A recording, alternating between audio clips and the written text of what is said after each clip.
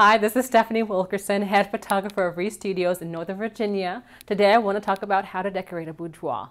Whether you are decorating boudoir for yourself or a photo shoot, it is important to incorporate your own personal style.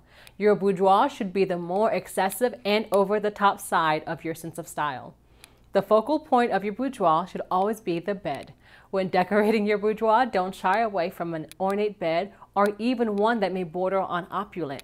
It's also very important to set the backdrop to your bed with an attractive headboard, which can really add dimension and balance to your boudoir. I love mirrored headboards for photo shoots or fabric covered headboards with an ornate trim. If you want to be a bit daring, rounded beds are unique and visually appealing. Now this is coming from a photographer.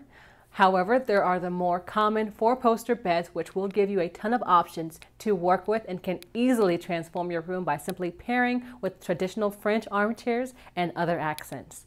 Ornate accessories are essential to decorating your boudoir. Gilded frames, vintage bottles, lavish wall art, and upholstered furniture in dramatic hues, accented with modern decor, will add an eclectic feeling and make your boudoir come alive. With the right furnishings and a touch of your personality, a boudoir can become more than just a lady's dressing room.